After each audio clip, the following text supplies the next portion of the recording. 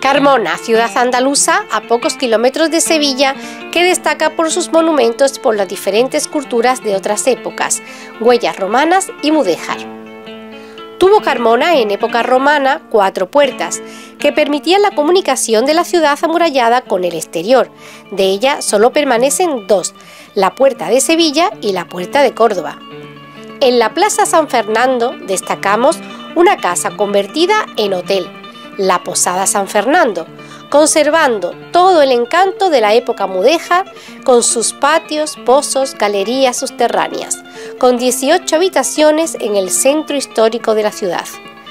Un hotel familiar que dirige muy amablemente Edgar Pérez y Virginia Rafael.